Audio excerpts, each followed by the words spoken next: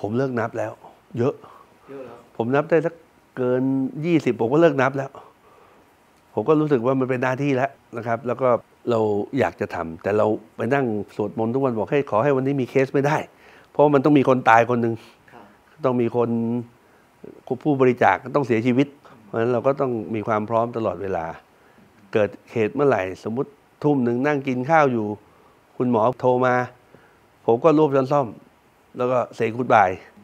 ถ้าถ้าไม่มีแอลกอฮอล์ติดตัวกันไปไหนก็ได้ ไกลที่สุดไม่เกินหนึ่งชั่วโมงครึ่งไออวัยวะหัวใจมันทนได้ หลังจากออกมาทนได้สี่ชั่วโมง ถึงยังมีสภาพสมบูรณ์อยู่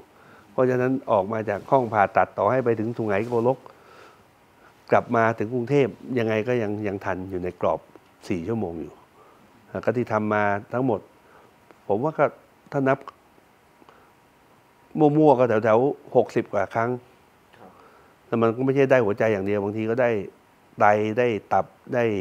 ปอดโอ้ได้ส่วนอื่นได้ลูกเอ่ออะไรเลนส์ในตาได้อะไรครับผิวหนังอะไรก็ได้มาหมดอะผมแต่ผมไม่ได้ไปยุ่งกับทางการแพทย์ ผมเป็นอะไรอะไลน์แมน คอยขนส่งจากที่หนึ่งจากผู้อะไรนะผู้ผู้ให้ไปยังผู้รับอะ หน้าที่ผมอยู่ตรงนั้นไอ้ critical moment ผมอยู่ที่ว่า หลังจากมันออกจากร่างผู้ให้แล้วเนี่ย ผมต้องเอาไอ้ไอ้อวัยวะเหล่านี้เนี่ยไปถึงผู้รับเนี่ย โดยเฉพาะหัวใจเนี่ยต้องภายในสี่ชั่วโมง ไม่เกินสี่ชั่วโมงไม่เกินสี่ชั่วโมง ผมก็ต้องปั่นเต็มที่ อยู่ข้างบนอากาศก็ต้องขอเออผู้ควบคุมจราจรทางอากาศบอกนี่มันเป็นภารกิจขนส่งอวัยวะ มีความสำคัญเร่งด่วนช่วย shortcut ให้ผมหน่อย อย่าไปอ้อมไกลนัก ถ้าตรงไหนตรงไปได้ไปมาถึงดอนเมืองเร็วที่สุดก็ขอเส้นทางนั้นมา ทุกคนตัดให้ผมจึ๊กจึ๊กจึ๊กจึ๊กเลยเวลาผมบินส่วนตัวโอ้โหยาวต้องไปอ้อม จะไปขอนแก่นที่ต้องไปนู้นบางทีไปถึงใกล้ๆอันนี้ก็ลาดบุรีถึงจะเลี้ยวได้ เปิดไซเรนอ่านะฮะ